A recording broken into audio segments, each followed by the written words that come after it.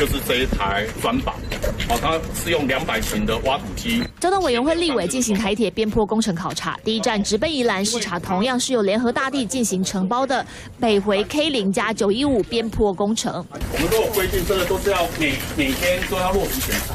大型机具同样每日进出工地进行边坡工程，打地锚机比怪手还要大，还得现在连绳索受力点也得检查。不过因为工程特性只在夜间施工，区段施工，立委忙问有没有掉落物监控。除了这个地锚的工程之外，有没有这个异物？掉落的相关的这个监测系统的，在立法院则是聚焦李义祥现在确定违法身兼工地主任，但翻翻法规早有明定不可以。不过这工程进行两年，展延四次，竟然一次都没有抓到违规，甚至这十年间营造违法兼任工地主任被开罚的次数少得惊人。第五十八条要呃要求他限期改派，好办理解任，否则的话连续罚二十万到一百万。唉。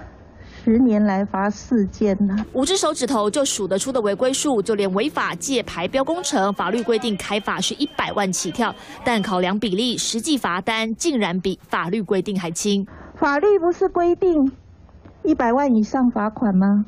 是不是？怎么会有那个罚七十五万的？怎么会有那个三件两百九十三万的？这个部分有时的部分是因为行政法法要按照比例。内政部现在补破网，一个月内完成工地主任资料勾稽系统，只要违法接任，系统就能警告。不过全国营造业两万多家，工地主任有三万一千八百九十八人，一个月内完成系统得相当拼命。三立新闻方博峰、陈君杰、陈教伟的报道。